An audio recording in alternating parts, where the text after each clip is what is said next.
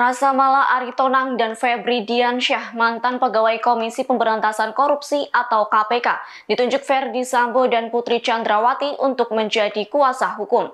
Atas informasi itu, kuasa hukum keluarga Brigadir J, Kamarudin Simanjuntak berharap pengacara tersebut dapat menyadarkan kliennya untuk kembali ke jalan yang benar.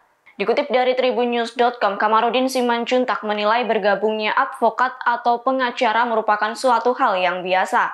Menurut Kamarudin, sebagai seorang pengacara seharusnya mampu memberikan pelayanan jasa hukum, baik di dalam atau di luar pengadilan. Selain itu, Kamarudin menyebut pengacara harus mampu berperan untuk membantu penegak hukum lain. Hal itu dilakukan untuk mewujudkan kepastian hukum, keadilan, dan kemanfaatannya. Kamarudin menegaskan seorang advokat tidak hanya berperan untuk memenangkan perkara saja, namun juga melindungi hak-hak dari kliennya agar tidak terabaikan secara hukum.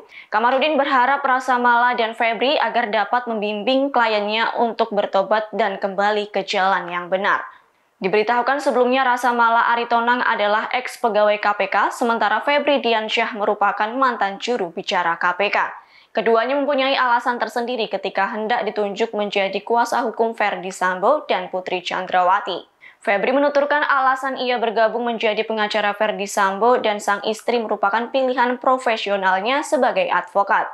Sementara Rasa Mala mengatakan keputusan yang ia ambil ketika ditunjuk menjadi pengacara Ferdi Sambo merupakan keputusan independen. Dirinya menegaskan sebagai advokat, Rasa Mala ingin memberikan bantuan terhadap siapa pun yang membutuhkan, termasuk Ferdi Sambo dan Putri Chandrawati. Rasa Mala mengatakan keputusan yang ia ambil saat ini sebelumnya telah melakukan pengecekan dan konfirmasi terhadap Ferdi Sambo dan Putri Chandrawati.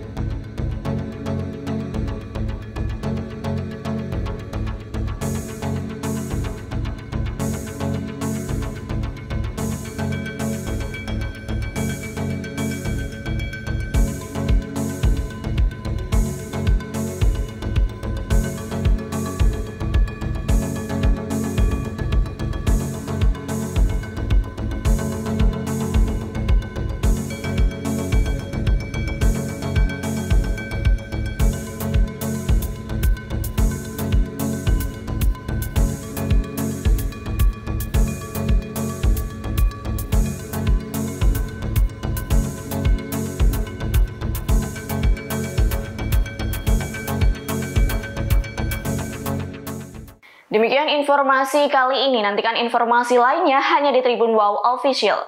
Terima kasih sudah nonton. Jangan lupa like, subscribe, dan share ya.